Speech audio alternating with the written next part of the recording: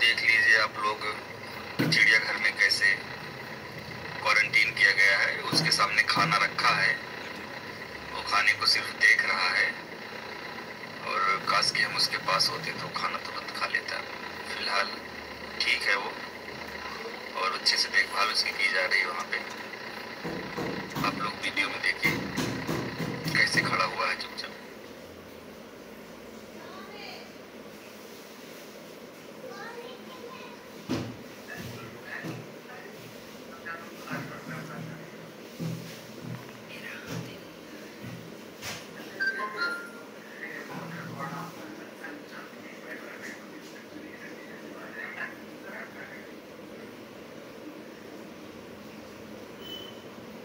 अब एक सज्जन लेकिन रात को काला आ गया दोनों कारा बस अभी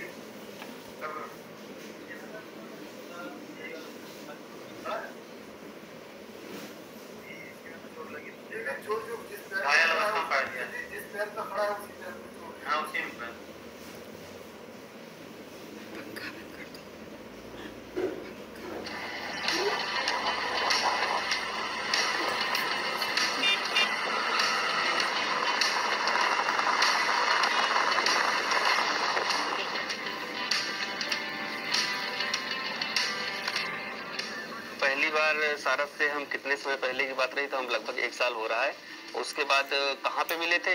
तो यहाँ से जहाँ हम लोग मौजूद हैं, यहाँ से लगभग सौ, डेढ़ सौ मीटर दूरी पर मेरा एक खेत है, जैसे यहाँ पे है, वहाँ पे एक खेत है। तो उस खेत में हम कुछ काम करने गए थे तो वही खेत में एक घायल अवस्था में पड़ा था, जिसका एक पैर राइट साइड वाला टूटा हुआ था, एकदम बिल्कुल टूटा हुआ था, थोड़ा सा लगा था, जिसके कारण इसको खून बहुत बह रहा था। खून बह रहा था तो इसकी हालत एकदम खराब सी हो गई थी। मतलब हमने देखा तो ये, ये तो है नहीं देखा जाके तुरंत पकड़ लिया क्योंकि बहुत भारी पक्षी हमको डर लग रहा था इसका मुँह इतना बड़ा है तो कहीं काट वाट नहीं जब उसके पास हम नज़दीक जाके देखते हैं इसको तो एकदम लाचार पड़ा था तो हम इसको उठा के अपने घर लेकर आए। घर लाने के बाद अपने घर में देसी उपचार जैसे होता है घर में जो हो सकता है उसका किया। धीरे धीरे लगभग एक से डेढ़ महीने में इसका पैर सही होने लगा। डेढ़ महीने बाद अपने पैर पे एकदम खड़ा होने लगा। खड़ा होने के बाद हम सोचे जब उड़ने लगेगा तो ये चला जाएगा अपने परिवार के पास, क्योंकि जंगली पक्षी है, कहाँ रुकेगा मेरे पास? हमको क्या जानता है कौन है कैसे है? पर ऐसा हुआ नहीं, ये ये मेरे साथ ही रहने लगा।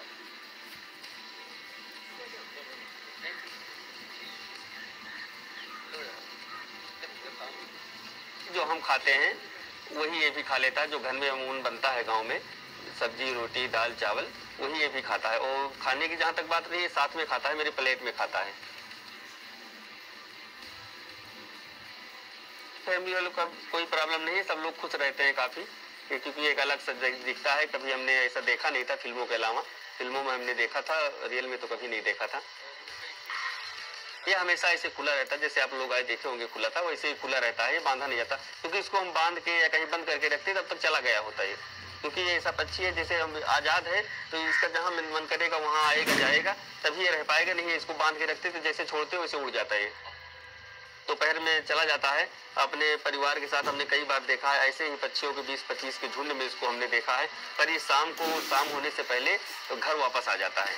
ऐसा कभी नहीं हुआ कि जिस दिन गया हो या हमको ढूंढ के लाना पड़ा हो या ना आया हो, दूसरे दिन आया हो, ऐसा कभी नहीं हुआ। रोज पर अपने टाइम पे आ जाता है वापस। चार पाँच किलोमीटर तक हम इसको ले जाते हैं, ले आते हैं। जी। क्योंकि दूर हम इसलिए ज़्यादा नहीं ले जाते क्योंकि रोड पे बहुत ट्रैफ़िक होता है। तो ये मेरे बिल्कुल सर के पास उड़ रहा है, ज़्यादा दूर भी नहीं जाता कि बहुत ऊपर चला जाए। वहाँ से हमको देखा कर एकदम करीब से रहता, जैसे सामने से बाद ट्रक को रखा गई तो फिर ये वो एकदम ऊपर जाता है। उसके बाद ट्रक जैसे निकली, फिर मेरे पास आ जाता है। नहीं, ऐसा तो हमने कभी नहीं सोचा था। बाकी ऊपर वाले की मर्ज़ी है, जो करता है, वो अच्छा करता है। हमने तो एक इंसानियत के नाते अपना फ़र्ज़ निभाया था। इसको जब देखा तो हमारे दिल में ऐसा जगह कि इसको ले जाके हमको ठीक करना चाहिए। क्योंकि ये आज़ाद है ना, अभी हम इसको बाँध के रखते, या कहीं कैद करके रखते, तब तो लोगों को प्रॉब्लम होती। तो हम इसको आज़ाद है जहाँ मिलकर आए, जाए, कोई दिक्कत नहीं